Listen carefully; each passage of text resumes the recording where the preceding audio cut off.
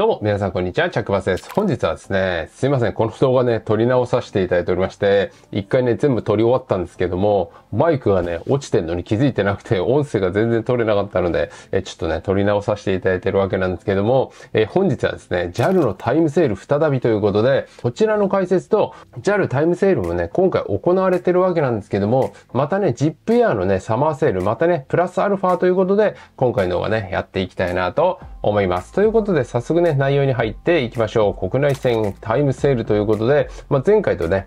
え公式サイトのね、漢字は同じになっておりまして、え、今回のタイムセール期間は2023年の8月3日0時きっかりから2023年8月4日23時59分までっていう風になります。こちらが販売期間っていう風になりまして、え、登場期間が2023年の10月の1日から2023年10月の28日までっていう風になります。で、公式サイトにね、前回もこういった感じでね、出てたと思うんですけども、えー、前回ね、羽田伊丹7700円、えー、羽田新千歳、え、8800円、羽田福岡9900円。これね、同じで、え、表示されてたと思いますので、まあ、前回のね、運賃とかなりね、同じっていう風になっておりまして、今回はですね、羽田沖縄路線、こちらもね、対象になっているっていった形になります。で、今回のですね、えー、7月に行われたタイムセールと、8月の4日からのね、タイムセール、まあどういった感じでね、違うのかっていう話なんですけども、ちょっとね、前回の、えタイムセールとね、値段ね、見ていきたいなと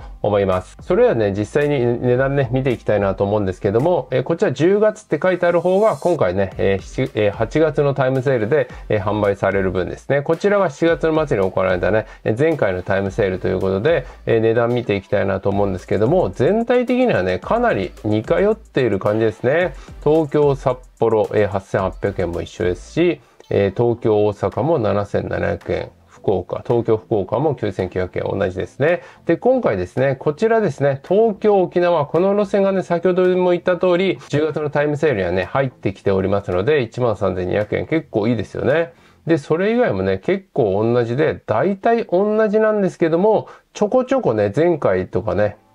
前回に比べると、えちょっとね、高かったり安かったりみたいなのがあります。こちらね、南紀白浜、えー、先月は、え、7700円でしたけれども、今回はね、9900円で設定されておりますんで、まあ、前回よりね、え、ちょっと今回の方が、まあ、高くなっておりますよね。まあ、それに代わって東京、出雲とかね、前回1万2000円でしたけども、まあ、今回1万1000円とかね、今回の方がね、安く設定されていたりですね。そうですね。まあ、そんな感じでね、結構ね、同じ価格帯でね、設定されておりますので、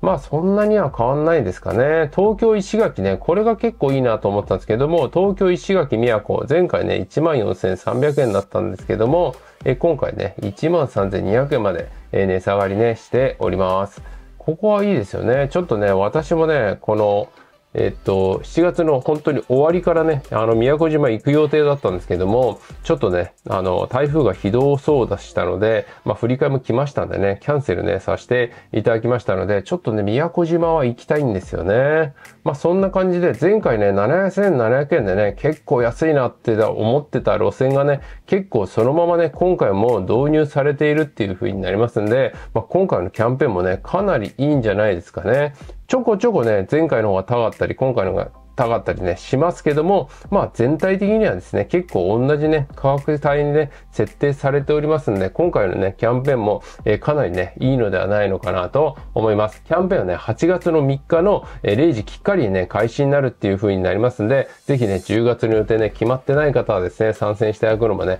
かなりいいのではないのかなと思います。こちらね、料金表はですね、概要欄にね、あの PDF ね、公式サイトに載せておきますんで、ぜひね、チェックしていただければなと思います。それでは次にですね、ジップイヤーのサマーセールですね。公式サイトね、ここんな感じになっておりまして、まだ間に合う夏もお得な空の旅ということで、えジップイヤーのね、サマーセールが8月8日の18時までですね。やっているっていう風になりまして、こちらね、対象期間ね、8月1日からね、9月30日までということで、今月中ね、利用することができるっていう風になりますんで、まだね、今月、えー、予定ね、決まってない方はですね、ぜひね、チェックしていただければなと思います。えー、対象路線はね、バンコク、シンガポール、サンフランシスコ、サンノゼ、えー、ロサンゼルスということで、ここら辺はですね、残念ながらね、もうね、あの、最安値の運賃はね、8月中は出てこないんですけども、このね、バンコクとかね、シンガポールとかはですね、結構ね、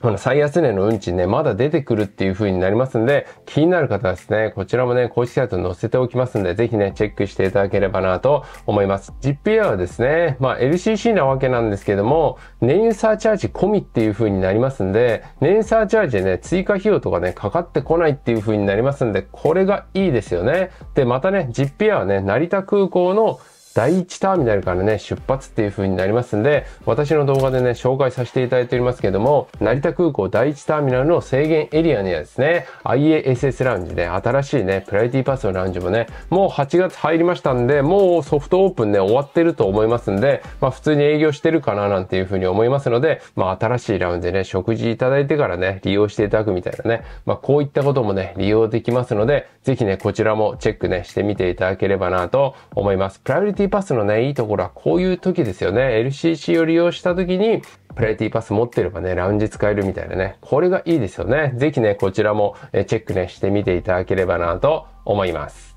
それでは次にですね、JAL のね、プレスリリースで発表されているわけなんですけども、JAL 根室中標津空港に就航ということで、国内ネットワークさらにね、広がりますということで、北海道エアシステム、えー、札幌、えー、岡玉空港から根室、中標津路線開設へということで、北海道エアシステムはですね、えー、2023年の冬ダイヤよりですね、札幌岡玉空港から、え、根室中標津路線ね、開設して、1日2往復ね、え、運行しますということで、こちらね、JAL グループの国内線としてはですね、2011年の10月以降ですね、12年ぶりの新規就航のね、空港っていた形になりますんで、こちらね、さらにね、便利になるっていう風になりますんでね、こちら気になる方はこちらもね、公式サイトね、概要欄に載せておきますんで、ぜひね、チェックしていただければなと思います。私もね、根室中標津空港はね、確か去年、一昨年かダイヤモンド仕様で、え、これ私はね、ANA で行ったんですけども、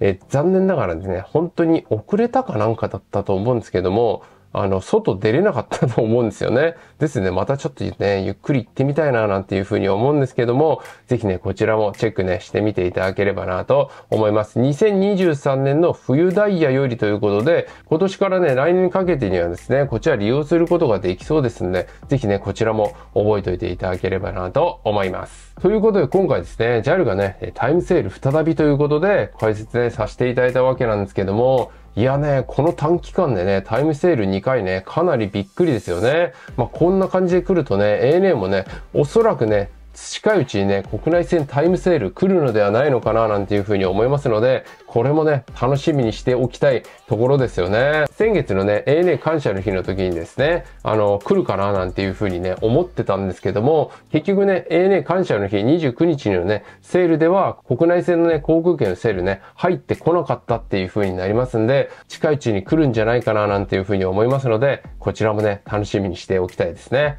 ということで、今回の動画はこんな感じで終わりたいなと思います。この動画が役に立った方は、いいね、チャンネル登録ぜひお願いいたします。私ブログ、ツイッターもやってますんで、フォローチェックしてあげるととても嬉しいです。それではまた次の動画でお会いいたしましょう。バイバイ